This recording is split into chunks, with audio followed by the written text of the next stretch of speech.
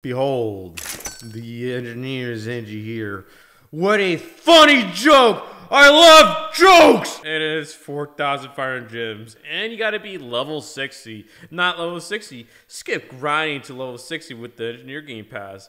That's not really the problem. The problem is the gems. The hardcore rate of gems is so horrible and the game itself sucks. You're you're looking at about for the average player 40 plus hours to grind for this tower. These are all the upgrades of the engineer. We have here the level 6 and all the way down below we have level 1. She wields a giant nail gun by the way, not a rail gun.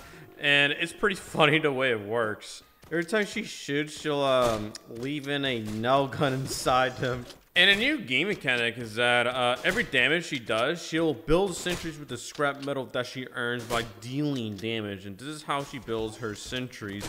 At level 0, she can only build 2 sentries at a time. Also note that Commander nor DJ affects the sentry's range or, or fire rate. As you can see here, Engineer herself is being buffed. But the sentries, there's nothing going on for them. She can also detect stealth and also flying boys at the same time. Although the sentries do not detect stealth nor the flying units, she will only shoot them with her nail gun. Now with a level 5 engineer with the minigun sentry, she is able to solo bosses pretty well. With the sentry and engineer, we're looking at about 200 DPS for early on.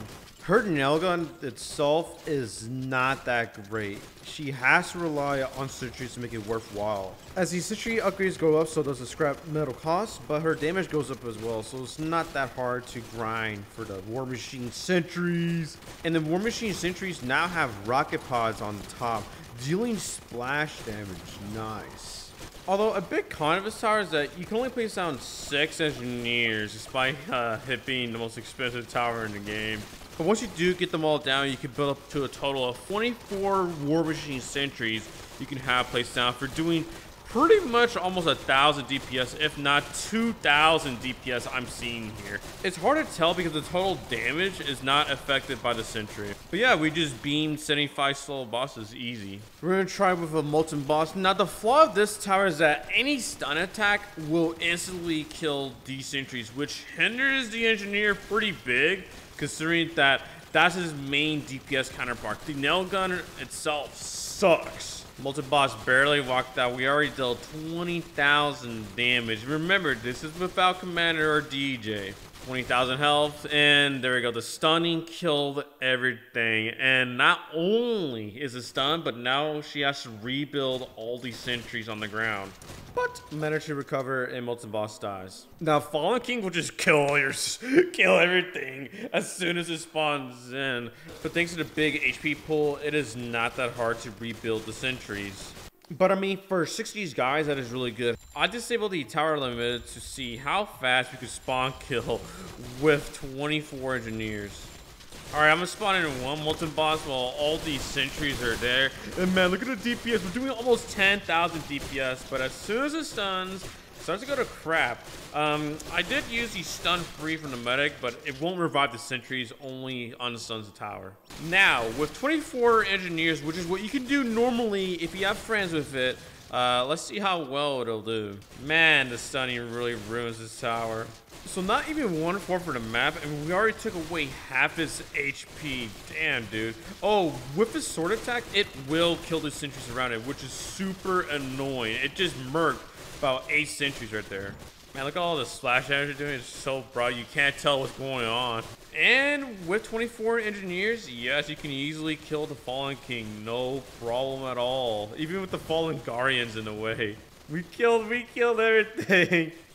I'm gonna spawn in four hidden bosses to see how well the tower does. And it's doing an okay job, I guess. But if there's other zombies in the way, it wouldn't do this good. Okay, what about six engineers fitting this, huh? The max you can have at max upgrade. Oh, God. It's just barely, man. Barely. I can't say this is a good tower for stealth detection because it, it's not. It's just not. And for uh, lead balloons, this tower is 100% useless as it, will deal zero damage to it. Looks funny though with all the uh, nails stuck stuck inside them. So the pros and cons of this tower, the pros being is that it's pretty cheap for what it does in game, as in terms of uh, in game cost now. And then the pros that it has flight detection and also stealth detection as well. And it doesn't need Commander or DJ to be good because it could do just as fine without those towers. However, the cons is that sentries do not detect stealth or flying units, which can cause you to lose the game in very situational contexts. Stunning one-shots all these sentries it spawns in, and Engineer will have to waste her time to rebuild all of that. Supports are also kind of a uh, con for it as well, because, well, it would be nice to have that fire rate, dude. And another con being that it is too expensive. 4,000 Robux or 40 hours of gameplay. I don't like those stats. Uh, I have a lot of Robux, so it doesn't really matter to me. But is it worth that much amount or grinding all that time? No, it's not. Um, I would not consider this tower to be worth it at all because the cons are kind of big on this tower, especially for late game when the stunning starts to get super annoying.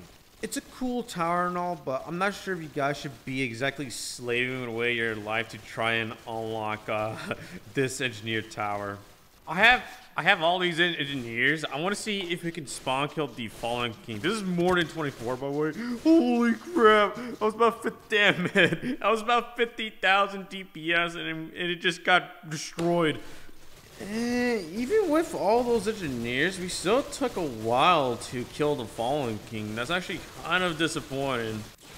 But yeah, guys, this tower is cool, but I wouldn't say it's worth uh, all that time spent grinding, which I think is uh, unfair. And um, the Robux for it, you're better off spending something else, I guess.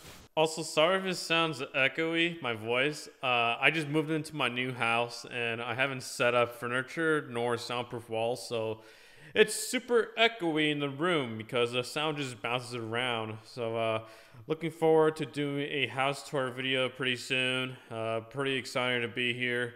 I plan to do uh, more videos and work on my game a lot more. I can I can really focus in now now that now that I have my own place. So look forward to that, you guys. I will be doing another video talking about the update because I did a vote poll and 66% out of 44,000 votes said no, this update is not good. That's very concerning considering that this is one of the biggest events considering it has an entirely new path layout and you know things like that. But yeah, it is crazy to see these vote polls.